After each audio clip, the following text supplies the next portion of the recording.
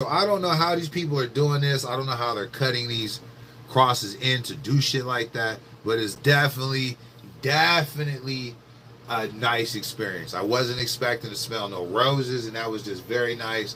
Like, especially if you got a bitch that's fucking with the weed game, like your baby mama cool with the weed and shit like that.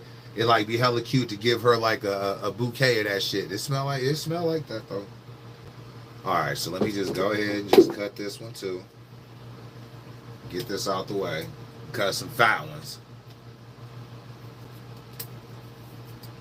you know, kind of dispel the myth. They'd be like, oh man, your clone's got to look like. No, no, no, no, no. You can make your clone as big and wild, as gnarly as you fucking want to, bro.